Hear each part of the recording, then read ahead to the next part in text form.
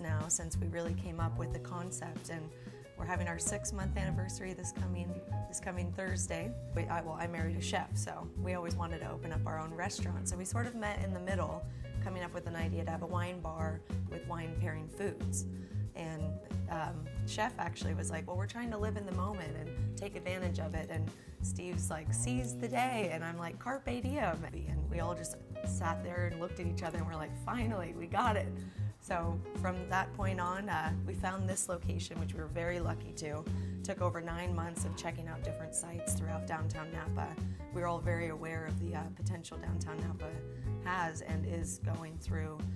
We found this location, it's actually in a historical landmark, the, uh, the old Alexandria Hotel built in uh, 1888 actually. We use all just local organic sourced ingredients. Sometimes we'll import things like our cheeses or charcuterie selections just because there's you know quite a variety out there in the world. Same with our wines. We got about 70% local Napa wines because we want to obviously emphasize where we are and people come from all over the world to Napa to enjoy the wines and it's exceeded all of our expectations. We've had so much fun and to be honest the best part for me are all of our repeat customers. I mean we've made friends here that I couldn't have found or made otherwise.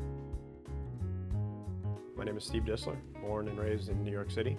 I just, I, I have this passion for wine and, and I figured, um, you know, why go anywhere else? This is my husband, Mr. Scott Kendall, executive chef here of Carpe Diem Wine Bar. Hello, hello. We're a Carpe Diem Wine Bar located in downtown Napa in beautiful wine country Napa Valley, 1001 2nd Street, right on the corner of 2nd and Main. Our phone number is 707-224-0800 and you can find any other additional information on our website and that's carpediemwinebar.com.